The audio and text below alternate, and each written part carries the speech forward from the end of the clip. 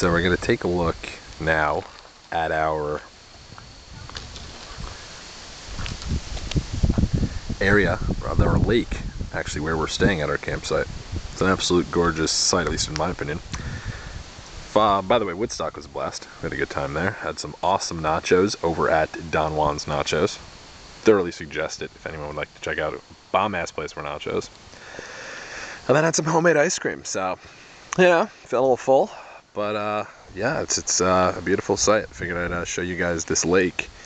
Don't know if I'm gonna get a chance to go for a dip. Don't know if it's probably the most sanitary lake, but it's, uh, it's a beautiful place. So, you know, Oh, I just spilled fucking Red Bull all over myself. That was fantastic. Fantastic. I just spilled Red Bull all over. Look, look at my fucking shoulder. I spilled Red Bull all over myself. FML.